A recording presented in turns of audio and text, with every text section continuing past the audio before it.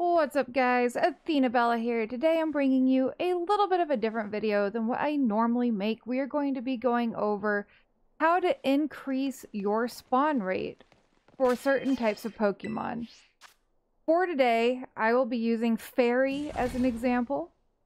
Easier sandwich to make, and it's a type that I'm, I'm looking for particularly.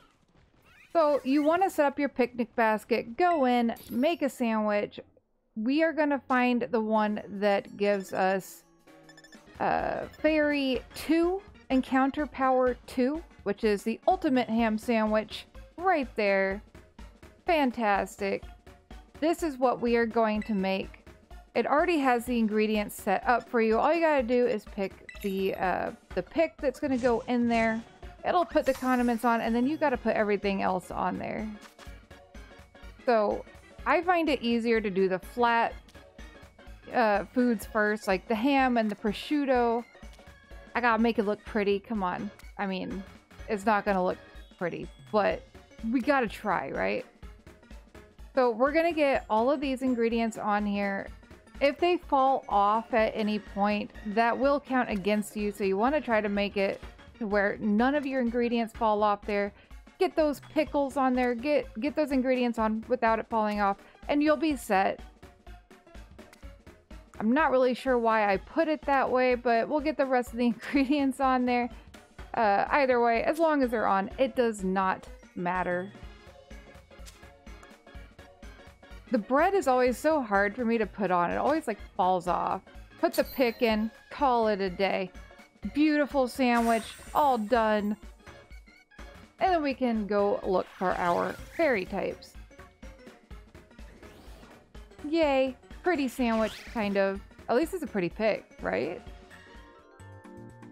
So once you and your entire team eat the sandwich, this will show you what buffs you get.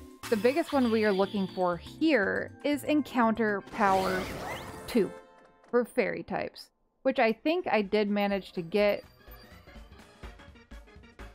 we did. So we got Encounter Power 2 right there, Fairy type. Great. Now we're going to go in here. If you ever have trouble with Iron Valiant, that's the way to do it. You come down to Iron Valiant after you have yourself an Encounter Power 2 sandwich. And voila, no more problems. They are all over the place, guys.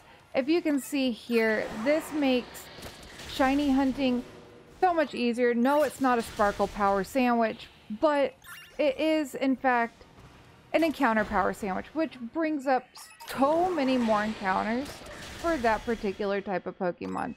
So guys, if you are having trouble with Iron Valiant, or you are having trouble finding whatever you want, make yourself an encounter power sandwich and go have fun hunting. I truly, truly hope this video has helped anybody who's been struggling or just didn't know how to help, you know, with their encounter powers. So, you guys, thank you so much for watching. Y'all are amazing. If there's anything else you want to see, any other how-tos that you would like me to do, please leave them in the comments. As always, please make sure to like, subscribe, comment, and have an absolutely wonderful